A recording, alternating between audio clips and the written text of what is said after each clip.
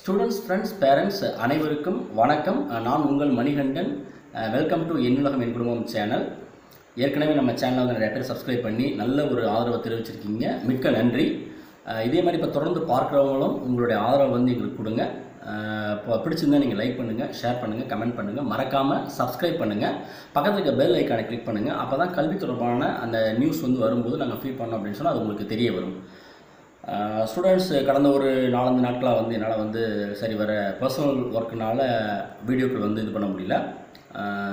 தற்போது வந்து பார்த்திங்கன்னா இப்போ எல்லாருமே அண்ணா யூனிவர்சிட்டி கீழே இந்த கவுன்சிலிங் எல்லாமே முடிஞ்சு அந்தந்த கல்லூரிகளில் போய் தேவையான அனைத்து டாக்குமெண்ட்ஸையும் கொடுத்து நீங்கள் இப்போ அழகாக ஜாயின் பண்ணியிருப்பீங்க ஃபீஸ் எல்லாமே கட்டி முடிச்சுட்டு நீங்கள் ஜாயின் பண்ணியிருப்பீங்க மேலும் இப்போ அடுத்து வந்து பார்த்திங்கன்னா உங்களுக்கு தலைமையில் இருக்கக்கூடிய ஒரு சின்ன பிரச்சனை. பொதுவாக வந்து எல்லாருமே அப்படி போக மாட்டீங்க. ஒரு சின்ன பிரச்சனை என்ன அப்படின்னு கேட்டிங்கன்னா பேங்க் லோன் வந்து அவைல் பண்ணணும்.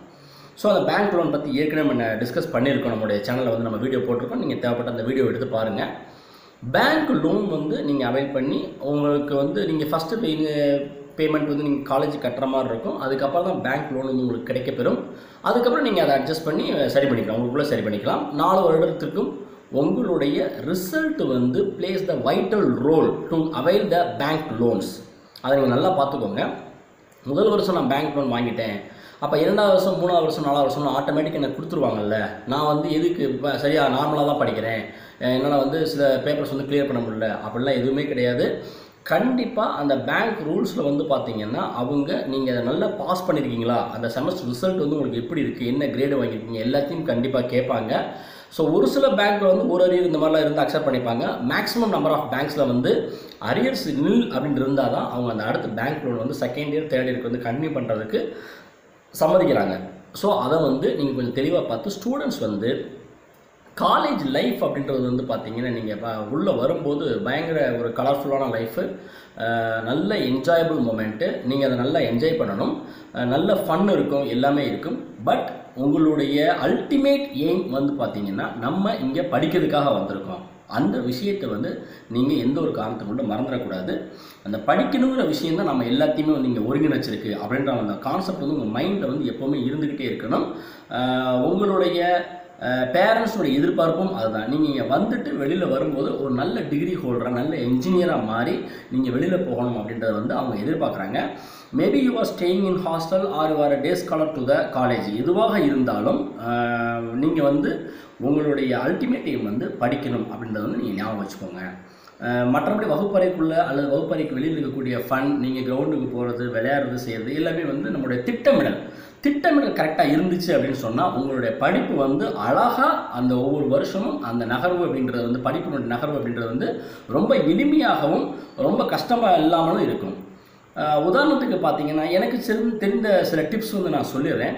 நீங்கள் கல்லூரி வாழ்க்கைக்குள்ளே என்ட்ராயிட்டு நம்ம எப்படி படிக்கணும் அப்படி படிக்கணும் அந்த மாதிரிலாம் ஒரு பெரிய இதெல்லாம் வச்சுக்க வேணாம்.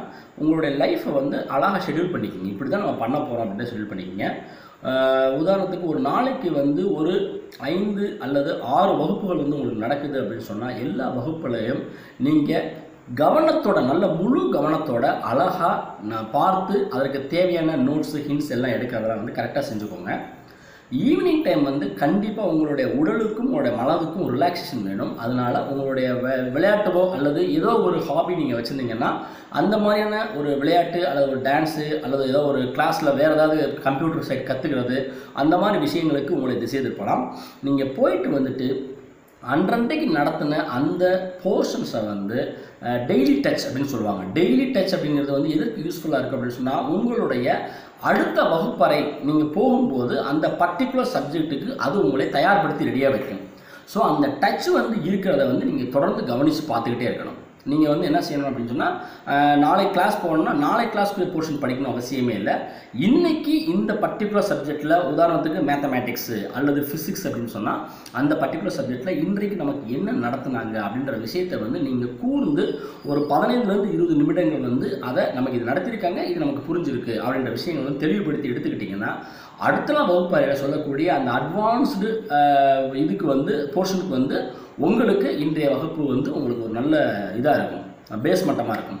ஸோ அந்த மாதிரி பேஸ்மெண்ட்டாக நீங்கள் வந்து அதை யூஸ் பண்ணிவிட்டு அடுத்த வகுப்பறைக்கு போனீங்கன்னா இது மாதிரி நம்மளுடைய தொடர்ந்து தொடர்ச்சியான திட்டமிடல்கள் வந்து உங்களுடைய கல்லூரி லைஃப்பை வந்து ரொம்ப அழகானதாகவும் உங்களுடைய படிப்பு வந்து ஒரு நல்ல அச்சீவ்மெண்ட்டோடையும் உங்களை கொண்டு போகும் அப்படின்றத வந்து எல்லளவும் சந்தேகம் கிடையாது. அது மட்டுமல்ல இதில் வந்து பார்த்திங்கன்னா நம்ம கல்லூரி வர்ற வரைக்கும் வந்து நிறைய விஷயங்களில் வந்து நம்ம ஸ்கூல்ஸ் இதெல்லாம் படிக்கும்போது நிறைய தயக்கம் ஒரு விஷயத்தை தெளிவுபடுத்திக்கிறதுல வந்து தவறுதல் அந்த மாதிரி விஷயங்கள்லாம் இருக்கும். என்னையை என்னைய பொறுத்த வரைக்கும் எனக்கு என்னுடைய நண்பர்கள் என்னுடைய இவங்க ஆசிரியர்கள் வந்து சொன்னது வந்து தயக்கம் சில நல்ல வாய்ப்புகளை பறித்து விடும் அப்படின்னு சொல்லியிருக்காங்க. ஸோ முதல் உங்கள்கிட்ட இருக்கக்கூடிய தயக்கத்தை வந்து நீங்கள் கண்டிப்பாக எலிமினேட் பண்ணியே ஆகணும். தயக்கம் இல்லாமல் வகுப்பறைக்குள்ள ஒரு ஆசிரியர் பாடம் நடத்தும் போது அதற்கென்ற ஒரு ஒதுக்கப்பட்ட நேரத்தில் நீங்கள் உங்களோட சந்தேகங்களை வந்து தெல்ல தெளிவாக கேட்டு அந்த பர்டிகுலர் சப்ஜெக்டில் நீங்கள் ஆழ்ந்து அதனுடைய விஷயங்கள் வந்து தெரிஞ்சுக்கிறதுல ஒரு தவறும் கிடையாது.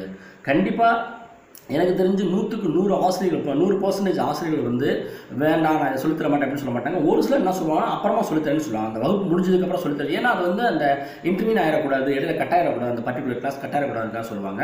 ஸோ இந்த மாதிரி விஷயங்களை வந்து நீங்கள் நல்லா தெளிவுபடுத்திங்க. சந்தேகங்களை வந்து நல்லா கேட்டு அந்த பர்டிகுலர் சப்ஜெக்டில் வரக்கூடிய சந்தேகங்களை வந்து அந்த ஆசிரியரிடம் கேட்டு நீங்கள் நல்லா தெளிவுபடுத்திக்கங்க.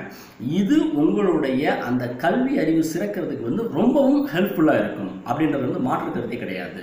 ஸோ இந்த மாதிரியான திட்டமிடல்கள் வந்து தொடர்ந்து நடந்துச்சு அப்படின்னு சொன்னால் உங்களுடைய படிப்பு வந்து அந்த குறுகிய நாலு வருடம் அப்படின்றது வந்து ரொம்ப நீண்ட வருடமாக தெரியாமல் நாலு வருடத்துக்குள்ளேயே அழகாக முடிச்சுட்டு எந்த விதமான அரியர் அந்த மாதிரி பேப்பர்ஸ்லாம் எதுவும் வைக்காமல் நீங்கள் வந்து நல்லா பார்த்தீங்கன்னா நாலு வருஷம் நம்ம அரியர் வைக்காமல் பாஸ் பண்ணணும். அதில் மூன்று வருடம் கண்டிப்பாக அரியர் இல்லாமல் பாஸ் பண்ணியிருந்தா தான் இப்போ நிறைய கல்லூரிகளுக்கு வரக்கூடிய அந்த கேம்பஸ் இன்டர்வியூ அப்படின்ற அந்த பிளேஸ்மெண்ட் ஆப்பர்ச்சுனிட்டியை வந்து நீங்கள் அச்சீவ் பண்ண முடியும். தனியார் கம்பெனிகள்லாம் வருது அப்படின்னு சொன்னால் கூட அந்த தனியார் கம்பெனிகளுக்கு நம்மளை வந்து தயார்படுத்திக்கிறதுக்கு வந்து உங்களுக்கு கண்டிப்பாக அரியர் வந்து இருக்கவே கூடாது. ஒரு சில கம்பெனிகள் ஒரு அரியர் ரெண்டு அரியர் இருக்குன்னு சொல்கிறாங்க பட் அரியர் இல்லாமல் நீங்கள் படிச்சுட்டு போனீங்கன்னா அது வந்து உங்களுக்கு ஒரு ஃபுல் எலிஜிபிலிட்டி இன்னொன்று வந்து அந்த செல்ஃப் கான்ஃபிடன்ஸ் லெவலை வந்து இம்ப்ரூவ் பண்ணி கொடுக்கும். அதை வந்து நீங்கள் உங்களை வந்து அதுக்கு தயார்படுத்திக்கலாம். அந்த மாதிரி முடிச்சுட்டு போனீங்கன்னா இந்த நாலு வருடம் அப்படின்றது மிக தொலைவான ஒரு பீரியடாக இல்லாமல் டியூரேஷனாக இல்லாமல் மிக குறுகிய அழகான வாழ்நாட்களாக மாறும் அப்படின்றது வந்து கொஞ்சம் கூட சந்தேகம் கிடையாது. நாங்கள் தொடர்ச்சியாக இதே மாதிரியான நல்ல விஷயங்கள் வந்து உங்களுக்கு சொல்லிகிட்டே இருக்கோம். மாணவர்களும் தொடர்ந்து பாருங்கள் இது உங்களுக்கு ஹெல்ப்ஃபுல்லாகவும் ஒரு கான்ஃபிடென்ஸ் லெவலை வந்து இம்ப்ரூவ் பண்ணுற மாதிரியாகவும் உங்களுடைய அச்சீவ்மெண்ட்டை வந்து அதை நோக்கி உங்களுக்கு ஒரு உந்துதலை கொடுக்கக்கூடியதாகவும் இருக்கும் என்பதில் சந்தேகம் கிடையாது. தொடர்ந்து பாருங்கள் ஃப்ரெண்ட்ஸ் அடுத்த வீடியோ உங்களை சந்திக்கும் வரை உங்களிடமிருந்து விடைபெறுவது உங்கள் மணிகண்டன். வணக்கம்.